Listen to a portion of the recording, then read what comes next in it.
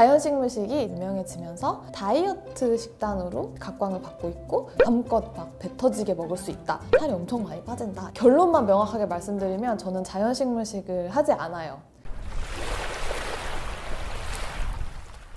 안녕하세요 여러분. 지속 가능하고 건강한 다이어트 이야기하는 단호언니 지씨예요. 단호TV 영상에 꼭 한 번 이상 올라왔던 댓글이 있는데 바로 뭐냐면은 자연식물식에 대해서 어떻게 생각하세요? 단호언니는 자연식물식 안 하시나요? 사실 제가 자연식물식이라는 단어를 작년에 처음 들었어요. 도대체 자연식물식이 뭐길래 마음껏 먹어도 괜찮고 살도 쭉쭉 빠지는 걸까? 가공이 되지 않은 자연 상태 그대로의 음식을 식물성 위주의 식품들로 섭취를 하는 식단을 이야기를 해요 결론만 명확하게 말씀드리면 저는 자연식물식을 하지 않아요. 그 이유에 대해서 오늘 이야기를 해보려고 합니다.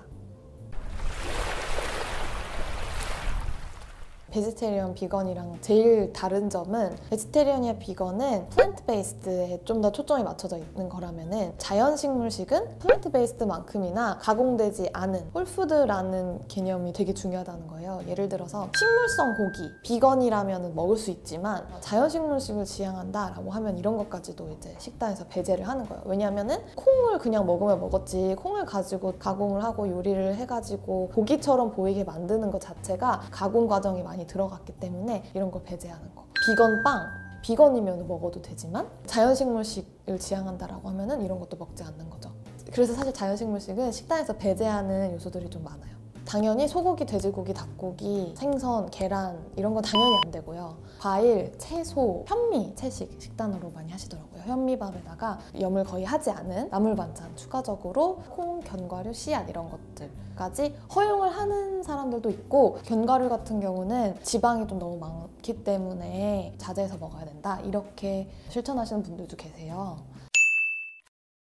이 자연식물식 안에서 허용하는 음식은 마음껏 먹어도 살이 안 찐다, 괜찮다라는 이야기는 어떻게 보면은 너무 당연한 거예요. 채소와 과일 위주의 식단은 사실 수분이랑 식이섬유가 굉장히 많은 비율을 차지하고 우리를 살이 찌게 만드는 건 사실 잉여 에너지원이잖아요. 탄수화물, 단백질, 지방이 너무 과잉하게 우리가 섭취를 했을 때 살이 찌게 되는 건데 아무리 많이 먹어봤자 살이 찌기가 어렵죠. 마음껏 먹어도 돼요라는 말이 되게 매력적으로 들릴 수 있지만 사실 굉장히 많은 음식을 포기해야 되기 때문에 건강한 음식을 마음껏 먹는 건 우리 성에 차지는 않을 거예요. 계속 뭔가 마음 한쪽이 허해. 아직 밥을 한 끼 안 먹은 것 같아.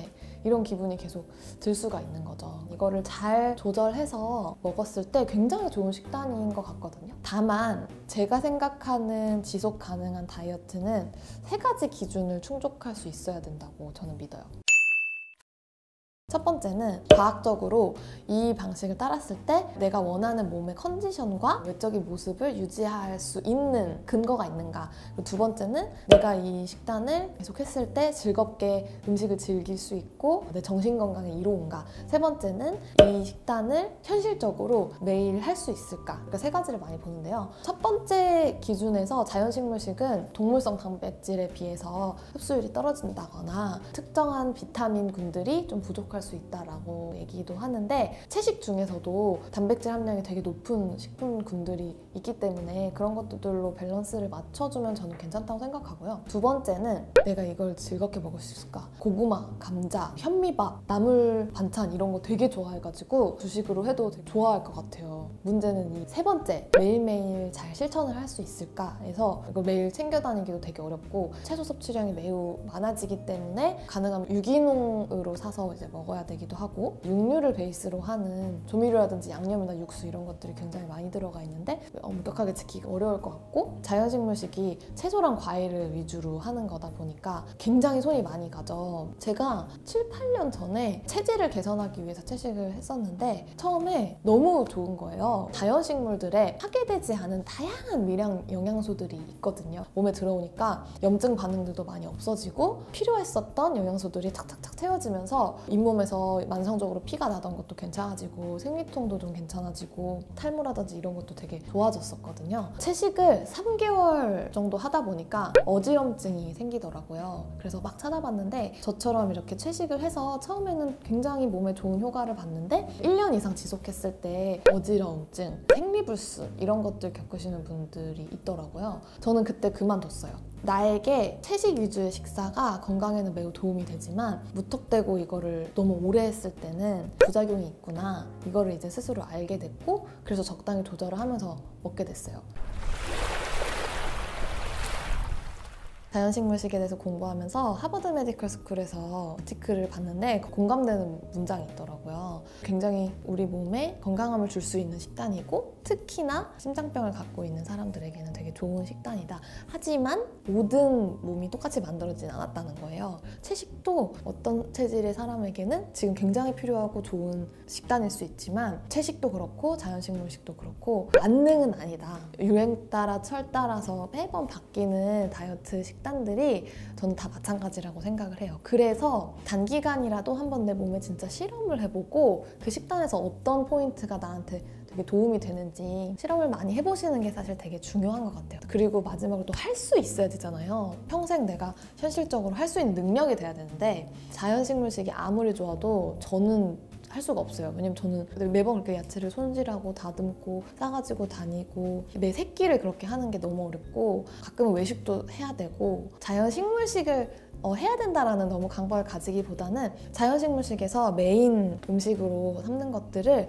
제 식단에 일정 비율로 가져가되 그거를 100%로 다 만족시키지 못해도 괜찮다. 대신에 내 몸에 필요한 영양소들이 골고루 잘 갖춰져 있는 것들을 먹어야지 이 정도의 기준으로 식단을 꾸리고 있어요. 그래서 저는 자연식물식을 하냐라고 물어보시면 하지 않습니다.